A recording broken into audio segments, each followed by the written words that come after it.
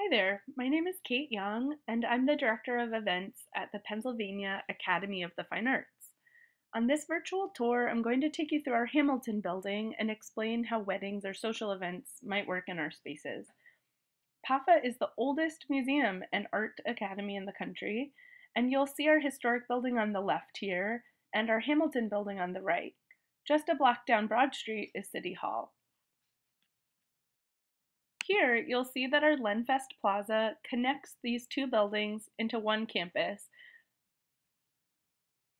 PAFA's Hamilton building was built in 1916 as a car showroom, and those wide open spaces work perfectly for our museum today in the first three floors of this building. This space is really perfect for those that want a more modern city aesthetic or those that have groups larger than the 150 person maximum of the historic building. Guests would enter the building off of Broad Street into this main lobby and then check their coats at a staffed coat check exactly where we're standing, just to the left.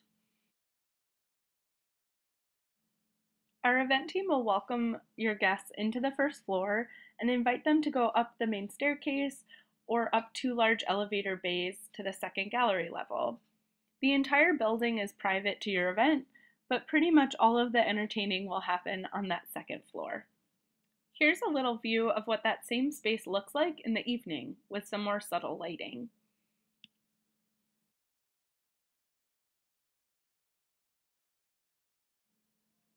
So now we're at the top of those stairs, essentially looking out from where the elevators would bring you.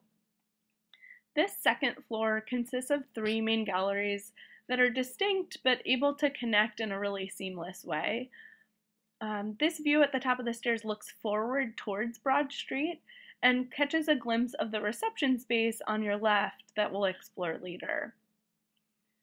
This is kind of a side view, also looking out towards the galleries, but it catches your right hand side, and that's the Sculpture Study Center. That space is often used for a cocktail reception, but can also be a multi purpose space. For example, we sometimes have babysitters with children in there, or we'll turn it into a specialty bar. There's really a lot of flexibility in terms of layout with the spaces.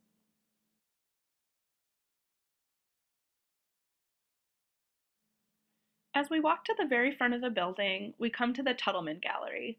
This is a really great space with floor to ceiling windows running the entire width of the building. It has a great view of Broad Street, a glimpse of City Hall, and the convention center that lights up at night. PAFA's spaces are really customizable, and so if you're just using the Hamilton building, we'd probably use the Tuttleman Gallery as ceremony and a bit of cocktail hour if you're just using it for a reception space or perhaps even a corporate event, this would be a cocktail hour space before we head into a reception. Here's another quick glimpse of that Tuttleman Gallery facing northwards. You'll see more of those windows and just how big it is. We have plenty of room to put lots of bars in here, high and low cocktail tables, escort cards, lounges are really popular. So that's really the fun of planning at a museum is that we can kind of guide you towards really fun and unique designs for you. So now I'm going to show you some examples of what ceremonies really look like in this space. You'll see that our gold Chiavari chairs that come with your rental are all there ready for your ceremony and that depending on the season, the lighting level in the space can be really different. So you'll see summer and winter weddings here.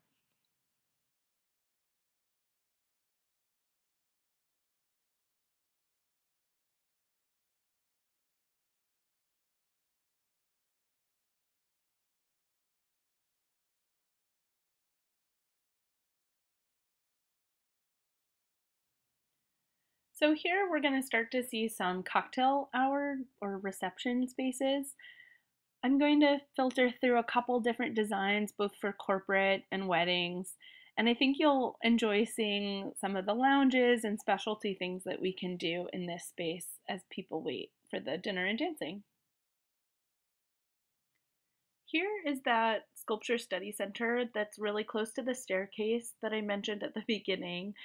Again, this space can be used for a cocktail hour. It can be used as kind of extra space, or sometimes we'll just close it.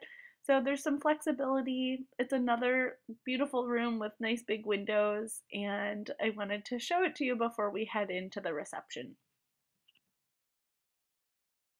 So until this portion of the night, your guests have really only seen part of the museum, and we'll eventually open four pocketed big wooden doors and reveal the dinner and dancing space, which will be really set up beautifully for your guests.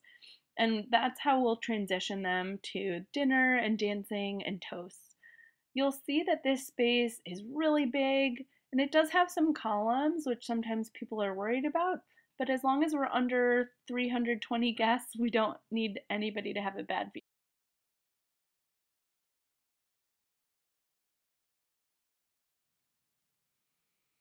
Lighting looks really great in this building because of the white columns and white space. And I think in this picture you can start to see the difference between something called pin spotting, which is shining light down from the ceiling and putting essentially a spot on something like the flowers on your table versus something called uplighting, which just means that you put light on the floor and shine it upwards, which is on our columns. Of course, the museum art and lighting kind of stays the same, but we can certainly dim those lights. And then most of our couples in this space choose to add a little extra specialty lighting, and we can kind of guide you in the right direction on that.